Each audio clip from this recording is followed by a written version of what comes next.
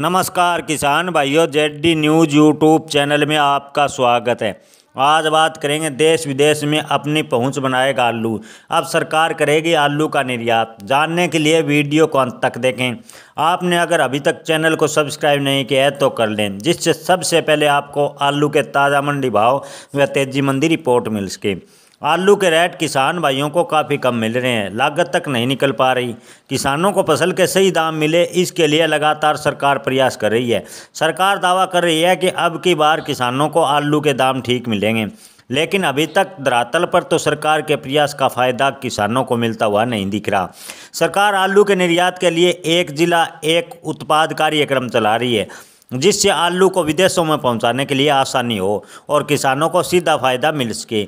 एक जिला, एक उत्पाद के रूप में प्रदेश सरकार ने इंदौर ज़िले को चिन्हित किया है। सरकार का दावा है कि इंदौर का आलू अब नई इबारत लिखने को तैयार है। अब इंदौरी आलू देश विदेश में अपनी पहुँच बनाएगा। प्रदेश का दा प्रदेश सरकार का दावा है कि इस फैसले से इंदौर आलू की मांग बढ़ेगी और इंदौर के आलू के दाम भी बढ़ेंगे। इंदौर के आलू को शुगर फ्री आलू माना जाता है। इंदौर में प्रत्येक साल औसतन 20 लाख मेट्रिक टन आलू का उत्पादन होता है। सरकार आलू के उत्पादन को बढ़ाने के लिए किसानों को 25 से 35 लाख रुपए तक का ऋण भी उपलब्ध करा रही है।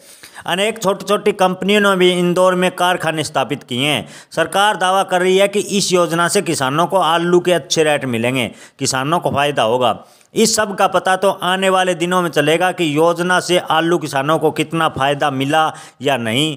इन सब का पता तो आने वाले दिनों में चलेगा। वीडियो को लाइक व शेयर कर दें। धन्यवाद।